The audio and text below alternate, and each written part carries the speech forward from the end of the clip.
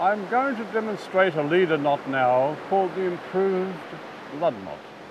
Now we begin by doubling the main line. We double the main line, we pass it across the leader, so we have a crossover like so.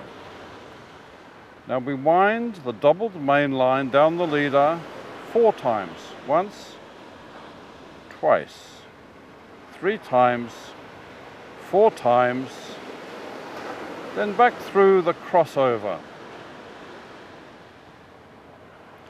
Next, we wrap the tag of the leader around the double main line three times. Once, twice, three times, and we pass it back through the loop in the opposite direction that we passed the loop in the main line. Close them up.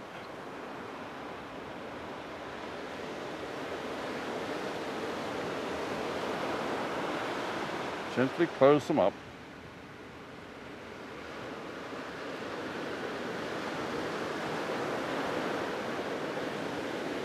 All that's required now is to trim the tags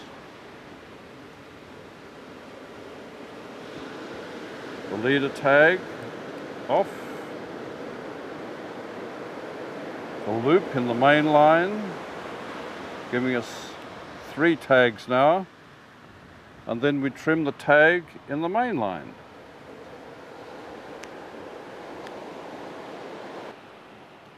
And what we're left with is a rather whiskery, but rather strong knot. It's not one of my favorites because it's rather bulky, but it does the job.